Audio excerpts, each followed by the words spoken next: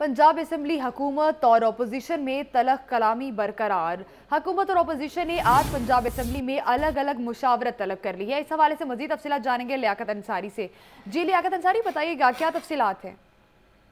آج بالکل۔ حکومت اور اپوزیشن نے بجٹ کے روز جس دن بجٹ پیش گیا، اس دن جو ہنگامہ رائی تھی اس کے بعد جو تلخی پیدا ہوئی ہے، وہ ابھی تک برقرار ہے۔ جمعہ کے روز بھی جو ہے، وہ اپوزیشن اسمبلی کی سیڑھیوں پر اور معطل ارکان نے مرکزی گیٹ کے فٹ پاتھ پر احتجاج کیا تھا اور آج بھی جو ہے، وہ اسٹیٹس وہی ہے۔ اب بہرحال جو آج مسلم نون نے اپنی پارلیمانی پارٹی کا اجلاس جو ہے وہ دو بجے کیفیٹیریا میں، اسمبلی کیفیٹیریا میں طلب کر لیا، جبکہ حکومت نے بھی اپنی کور ٹیم کا اجلاس جو ہے وہ بلا لیا، جس میں یہ لائحہ عمل طے کیا جائے گا۔ اپوزیشن نے انڈیا دیا کہ اگر حکومت ہمارے معطل ارکان کو بحال کر کے عوام کے اندر لانے کے لیے تیار ہے، تو ہم بھی بات چیت کے لیے تیار ہیں۔